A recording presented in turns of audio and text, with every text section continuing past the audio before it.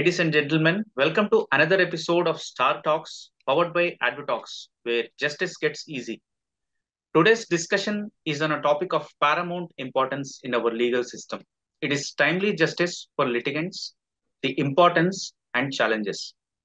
To discuss the same, we have with us distinguished guests who bring a wealth of experience and knowledge to Star Talks. Please join me in welcoming retired Principal District and Sessions Judge, Mr. Sangappa Mittalkod, who is currently working as a senior advocate at the High Court of Karnataka. Thank you, Mr. Siraj, for inviting me to the Star Talks. I am looking forward. All right, sir. To set the stage, let's begin with some analysis from our guests on the topic. So, Mr. Sangappa, sir, could you please share your thoughts on the importance of timely justice in today's legal landscape? Yes. Today's legal landscape means we are now having legal justice dispensation system. So we have to do justice as per the procedure established by the law. So everyone wants justice. Nobody wants injustice. So what is justice? There is no need for me to define it. But a timely justice is the caption because the today the legal system dispensing the justice is blamed, blamed mainly for the reason that there is a delay. And mainly courts are blamed in this. No doubt, courts are there, but courts are not alone responsible for this. Litigants, lawyers, witnesses, government machinery, lack of infrastructure, shortage of judges, etc. are main contributor for this. So, despite of this, justice system is going on, but it requires a speed which is able to deliver justice on time to the litigants. Therefore, in this context, I may mention that already the infrastructure is improved a lot. Therefore, we can uh, think, expect something good, Mr. Siraj. Thank you, sir. So let's try to focus our discussion maybe on the litigants. So please provide your perspective on how the timely justice is going to impact the litigants in specific. The timely justice means we have got mainly two, two types of cases, that is civil cases and criminal cases.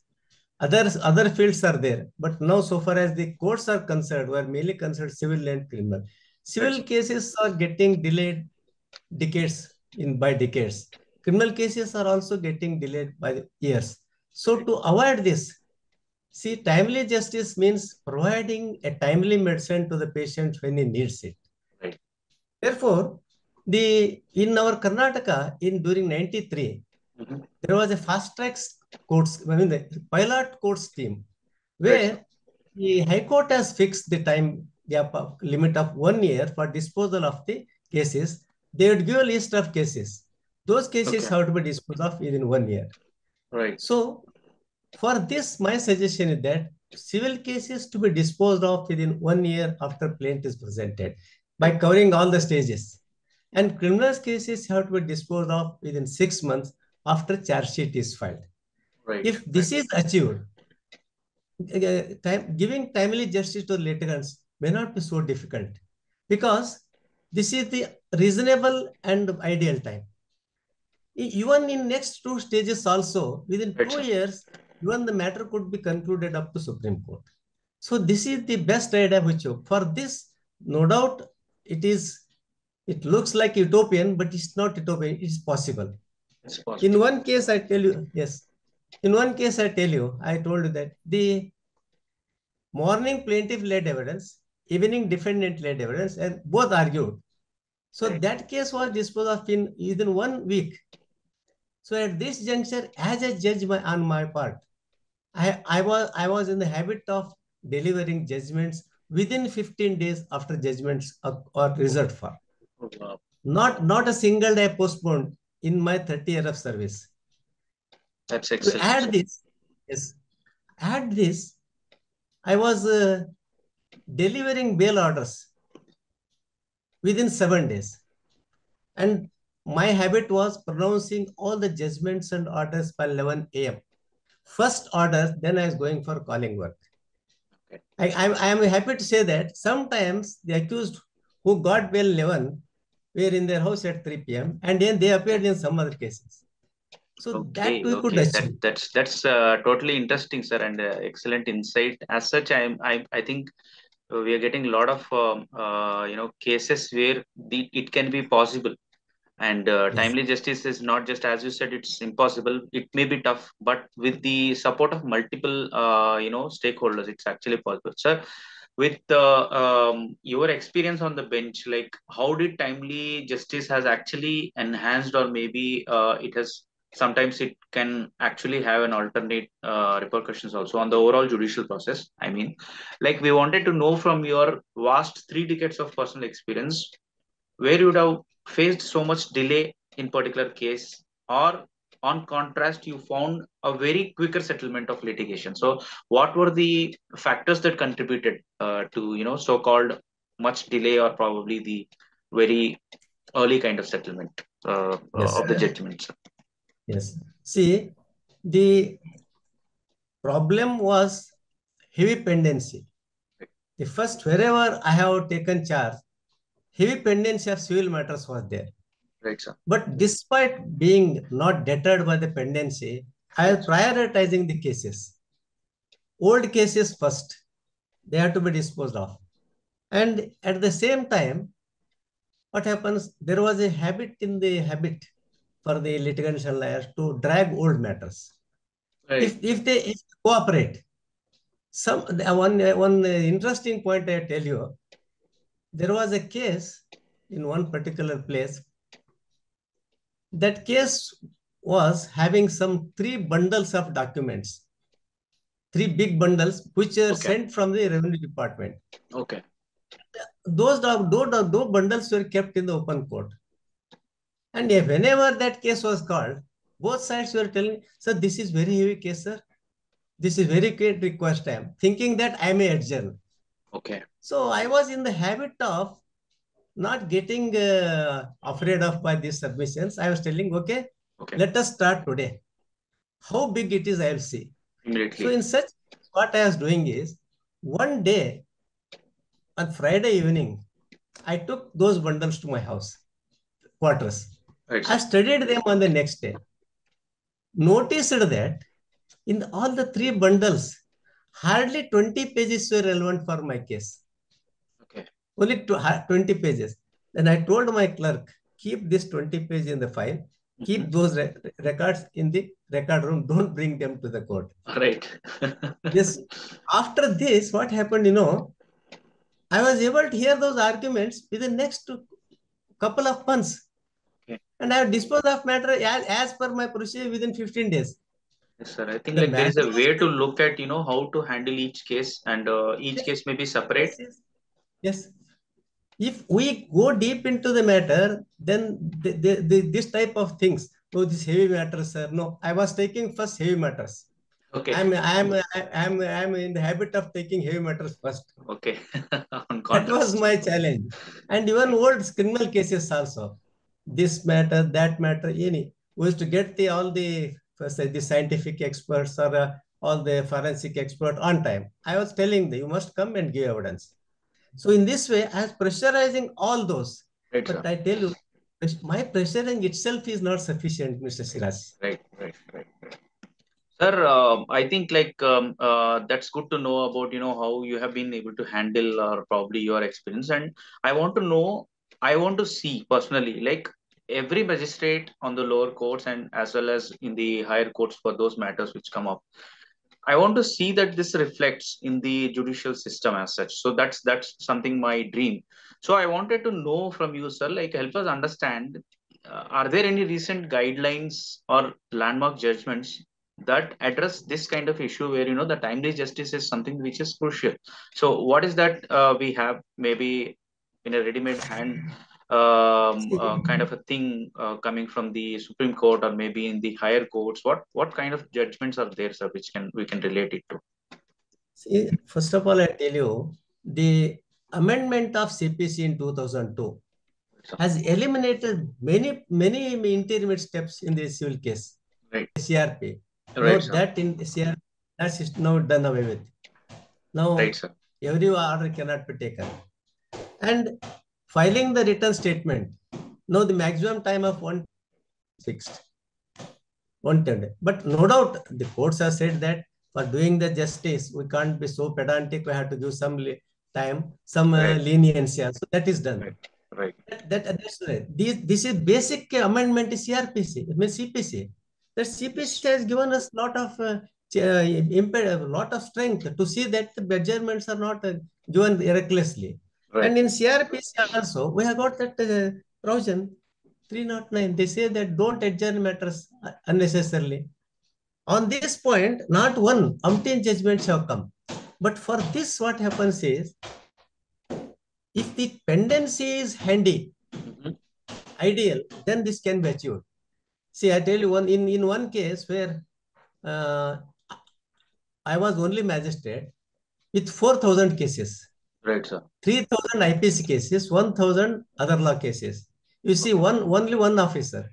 Okay. But but still, in that court, I never uh, sat between more than between five to 11, 11 right. to five, with one sir. hour break. And I never adjourned any matters. And I was attending all interim orders, bail orders, releasing orders, and work. So in that fashion, I managed. So one thing uh, I want to tell Mr. Siraj. Yes, sir. How a delay has occurred in one case because of the wrong submission and the judge not taking serious note. Right. A matter was pending for 10 years. A simple small matter, the Country and Town Planning Act. So my habit was, I was always uh, keeping a note of these old matters. After my going to that place, I noticed that there was a mention in the order sheet. Right. Matter is stayed. After six months, I noticed that still it is pending since 10 years. 10 years this 10 years. Yes. Something must be wrong. Yeah. Then I told my bench clerk to keep this file in my chamber because I'll go through it in my in the um, afternoon lunch session, right. lunch break. Right. Right. After after taking uh, my lunch break, when I saw that file, I found there was no stay at all. Okay. The matter was pending, kept pending in 1983. Okay. 1992, it was like, just adjourned as await orders, but there was no stay. It was for 10 years. Oh, okay. So there was no such stay order that uh, no, actually that... people were waiting, but it, it just got adjourned so many yes, times. because later I learned that the concerned council submitted that matter is stayed. The judge okay. believed Orally. the words of Newton, yes. Yes, sir. now I get that. Now I get that. So ideally, we should not be going by the words of counsel, but we should actually get the petition details if that happened in the higher courts. Actually. Yes, definitely, sir. Because what happens, we believe the advocates because they are officers of the court. Yes. It is responsibility of the advocates also. Right. Then what happened, you know? Then I called the advocate at three o'clock. Right, sir. She said, Sir, I, my client told me that is dead. So I made submission that was entered.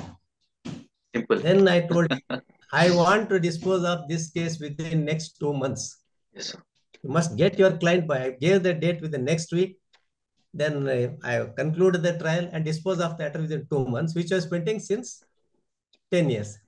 So in this way, the involvement of the judge is also right. important. At the same time, the advocates as the court officers Role. should assist and make unfair fair submissions. Yes, sir. So I, I think this brings me to uh, you know some more attention. Maybe uh, we are talking about instances where you know false information has been given. So there are certain sections actually which uh, uh provide us guidelines where like section 344 if you see which deals with the yes. uh, like knowingly or willfully giving some false evidence or as such yes. fabricated yes. false evidence and also there is another section 309 which deals with the postponing the commencement of a trial or an inquiry yes. and matters related yes. to the remand of an accused by a warrant so yes, uh, by the way if you see sir like it, it's a major thing that actually we need to consider like these application of these particular sections as such there are personal liberty aspects that we are talking about and then there may be illegal uh, detention that can happen in uh, some of the cases so the implementation of these sections when you see in this very context of speedy disposal like we wanted to know how do you actually uh, perceive these uh, sections implementations see first of all when the accused is in custody that once a charge sheet is filed, on priority base, that case must be taken because his personal liberty is curtailed. Absolutely. It's not that all cases will get ended, ended in conviction. Yes. If we acquit him after five years, the time spent by him will be a very serious abridgment of Article 21. Absolutely. So yeah. that must be done. So in giving the false evidence, now new CRPC is in the offing. Right. BNSS, that Bharatiya Suraksha Sanhita. So I am studying it. We are making some suggestions to that. My Yes. suggestion is that whoever files false case, whoever files false charge sheet, should be booked, should be booked, and case should be opened against them. And punishment should be the equal to the that false charge sheet they have filed, and pe- penalty should be double of that one. Because today it is necessary that checking the filing of the false cases is necessary. If the courts convict an accused, it, it is they are meant for that. But if an innocent person is convicted, that questions the efficacy of the system. Yes, sir. There is a saying that let hundred criminals escape, not an innocent be punished. Right. Of course, I qualify this one. It's not that that doesn't mean that uh, allow hundred criminals escape. Yes, sir. The principle behind that is take Yes. care that an innocent is not convicted. Don't allow the hundreds to escape. Right. Take care that innocent is not convicted. So Right, in my service, I have used the section 344 CRPC Mhm. on many occasions. Right, right, right. Because they were giving the evidence eh, recklessly, despite knowing the truth. I So have sometimes I, I I- want to bring I want to bring one more uh, crucial aspect. So the process before it comes to the uh, you know after the charge sheet uh, filing process by that time the role of the investigation officer or the uh, station house officer as such in the C if you see in the criminal cases it would be very heavy. And then uh, for courts actually that's the starting point. The investigation comes up the io submits certain kind of issues. So i wanted to know in maybe in some of the cases there may be situations that the io himself has involved in the false and frivolous accusations that has been made against the you know so-called accused. Right so and later it turns out to be false and frivolous you know at the Yes. at the stage of the trial or you know whatever it is. So are there any provisions actually that we can deal with uh, you know such kind of uh, you know eradicating such kind of situations? Like what what all we have uh, in hand to probably fight against such instances? See, today, today exactly don't have any direct provision to deal with uh, false cases. That's why I am suggesting an uh, amendment IPC. There shall be a direct provision saying that whoever files any false case, Mhm. complaint or charge sheet, if the accused is acquitted on the holding that the case is false, in that case, all those responsible for filing false case should be accused. A case should register against them, very court which acquitted the accused. And those accused shall be the witnesses in that case.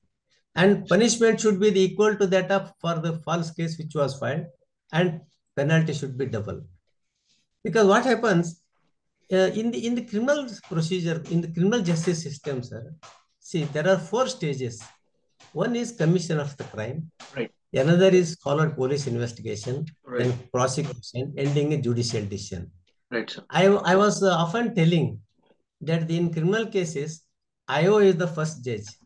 correct absolutely IO the first judge. right He knows more than what judge knows through the evidence because he will be there on the spot.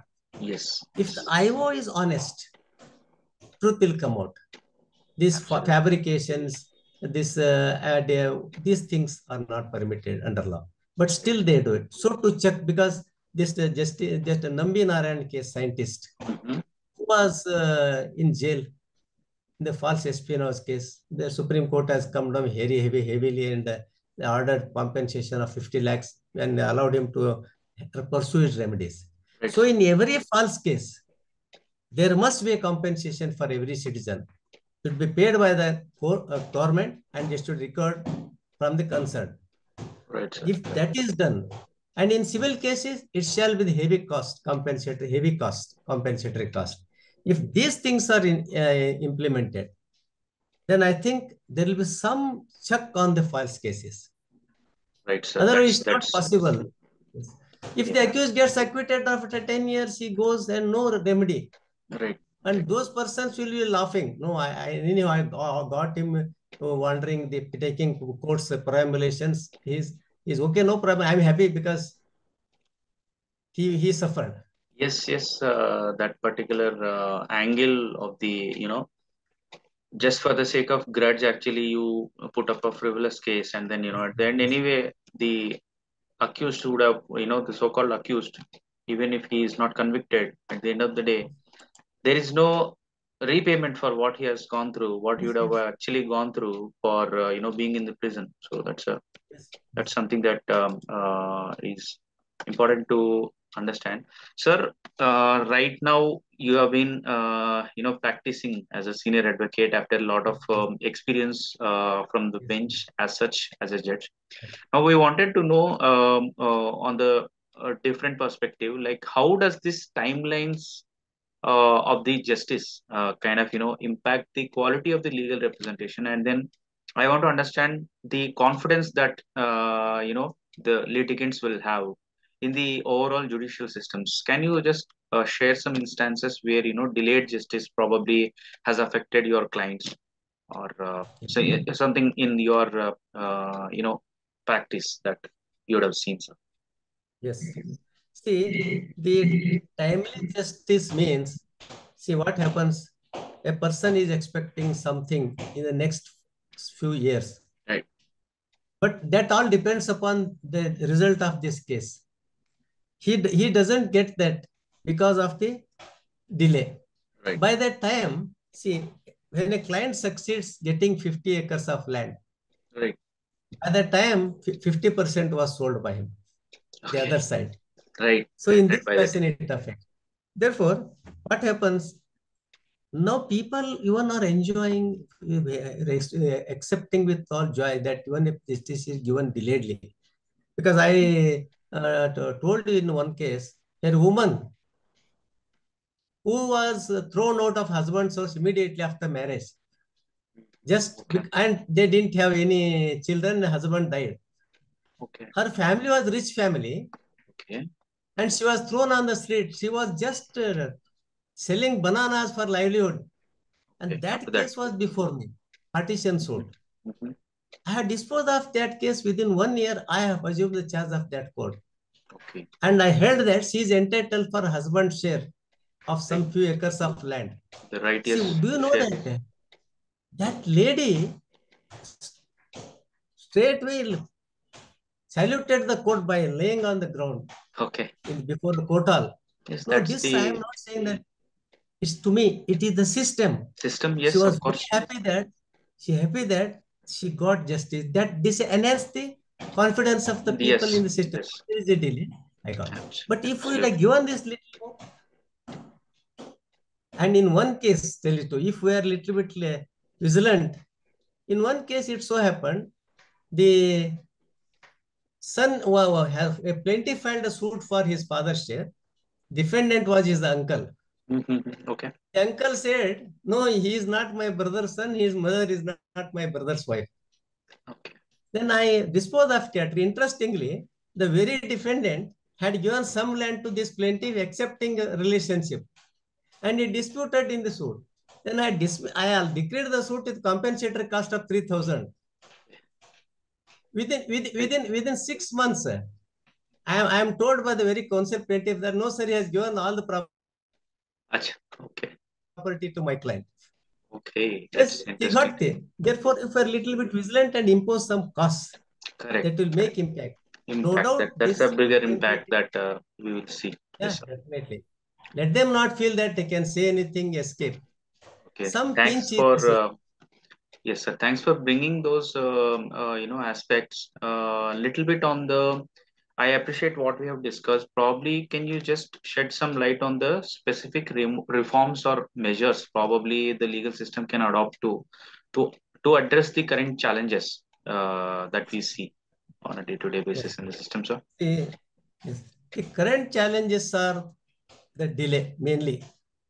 and now I know that the pendency is such that it's not possible to achieve this goal of timely justice. So first, my suggestion is at all levels, there needs to be fast track courts because I was the fast track judge for six years. In wherever I went, almost all the old matters were cleared by me. Not a single matter was left.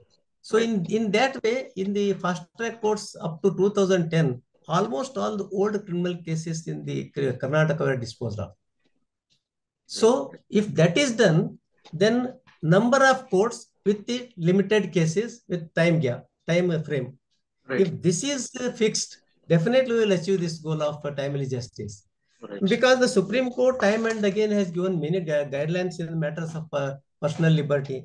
That 1994, yeah, 1994 SC 1349, Joginder Kumar case. Particularly yes. what happens in civil case, they get the whatever time spent in jail cannot be compensated by any. Right. Giving money is something, but that will not uh, uh, satisfy the man because he was suffering for, for, for being incarcerated in the right. yes, for no fault of his. Therefore, in the same way, the you can see that Nambi Narayan case, it may be, it may be case of Rini Johar. These all cases have given guidelines. Don't tolerate these false cases. Right. Even in uh, Preeti Gupta case, Supreme Court has come very heavily on arresting the husband and his family members recklessly. So right. personal liberty aspect is taken serious note by the Supreme Court. Arnesh Kumar, Arnesh Kumar, Arnesh Kumar case, yeah, Arnesh Kumar guidelines are there. DK Basu case is there. Yes. Yeah, okay, okay. But more than this, what I am, I would like to tell you is, it's the presiding officer's most in, inquisitiveness important. In, in the 1993, there was a guideline in Karnataka High Court. Uh, circular issued, if the accused is produced before the magistrate, if nobody files wakalat, then in that case, that remand should not be for more than, should not be for 14 days. You remand just till next date. Right, sir. This was the guideline. With a, with a fond hope that someone who has seen him in the court hall may inform his relatives because at that time still DK Basu case was not there. So right. how is such a guideline helped me, I tell you.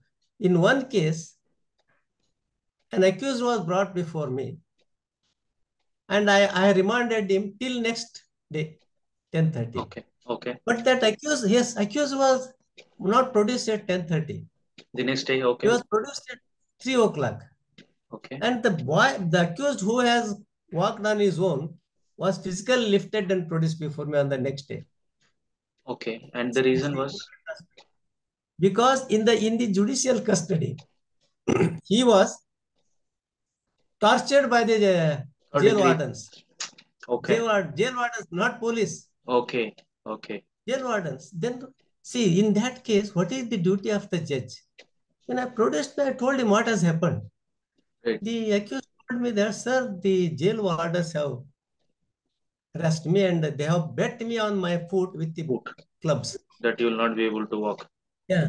Then, uh, then immediately I noted everything in the order sheet. Mm -hmm. Then I referred him to hospital. He was in hospital for 20 days. That that's a serious uh, uh, impact. Yes. Okay. Then when he was brought before me, I registered a case against the jail wardens. I made him to depose and 200 CRPC, registered a case, and issue summons to them for 324 IPC. Okay, so in this way, we have taken serious note of personal liberty and not hard to harm or injure the accused in custody. Right, sir. Right, sir. Sir, with your, um, uh, uh, you know, previous discussions that we understood that the legal remedies are probably through the guidelines that we have been seeing yes, yes, yes. through the false and frivolous uh, yes. cases basically. So we also wanted to know a little bit about the uh, kind of you know frivolous litigations that keep happening in the legal system outside india. How are they handled? Is there anything that we can actually adopt something from the uh, maybe western nations or maybe another uh, set of uh, you know constitutions that we can learn from? Yes. Uh, of course i have got very little information about that. But once I am told that in the Western countries, if the in a criminal case, if the there is a in lapses are noted, the investigation officer is answerable. Okay. He is answerable. If there is a dishonest investigation, lapses in investigation, for all that, investigation officer is responsible. Therefore, see, in that country, I am told that in uh, foreign countries, the statement of the statement made before the police by the witnesses, even if witness does tell, if the IO says that this witness is, has given statement before me, that is admissible in evidence. Right. right. But if, if that is done here in the, where no, no one is safe. that is a horrible situation. Right, right, right. I absolutely accept that. Yes, yes. Quick and brisk investigation there, no? Uh, I'm told that one Justice, Honorable Justice Women Venkatachaliah, former CJI, when I had were, were discussing, okay. that in England, within 111 days, mm -hmm. the criminal cases will be over. Okay. Here we are given 90 days time to file the charge sheet in the cases where more than 10 year punishment is there. Yes. So the speed with it with it, with it is done. Now, of course, I don't expect same speed here, but we can do little bit, little more. To achieve this goal of speed justice and uh, timely justice. Sure. And in, in, in civil cases, it should be heavy compensatory cost.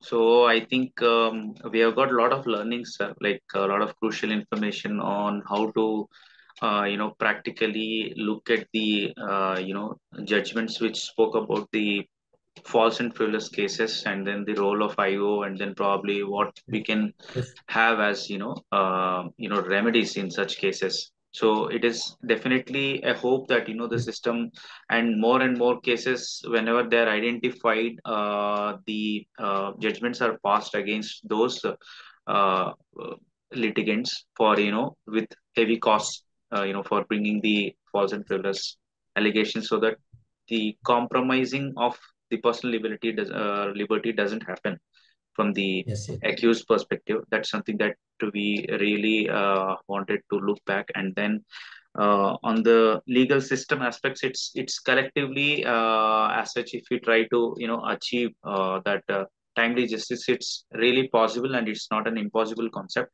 And probably bringing a lot of other aspects uh, on uh, you know not postponing and not bringing the adjournments without any reasonable uh, you know explanation.